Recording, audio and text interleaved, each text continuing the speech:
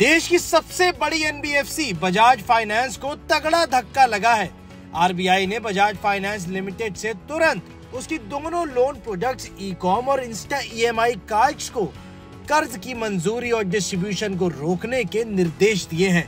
Company के दोनों projects पर आरबीआई की गाइडलाइन का पालन न करने की वजह से ये रोक लगाई गई है। आरबीआई ने भारतीय रिज़र्व बैंक एक्ट 1934 के तहत मिले अधिकारों के चलते बजाज फाइनेंस को निर्देश जारी किए हैं इस आदेश में आरबीआई ने ट्वीट करके अपनी बात स्पष्ट करी और कहा कि कंपनी भारतीय रिज़र्व बैंक के डिजिटल लोन के निर्देशों के मौजूदा गाइडलाइंस का पालन नहीं कर रही थी।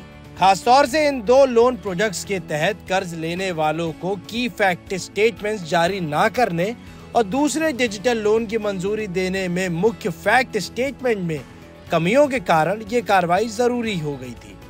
आरबीआई ने कहा कि इन कमियों को सही किए जाने के बाद सुपरवाइजरी इन बंदिशों की समीक्षा करेगी और आरबीआई अपनी संतुष्टि के बाद फैसले को रिव्यू भी करेगी।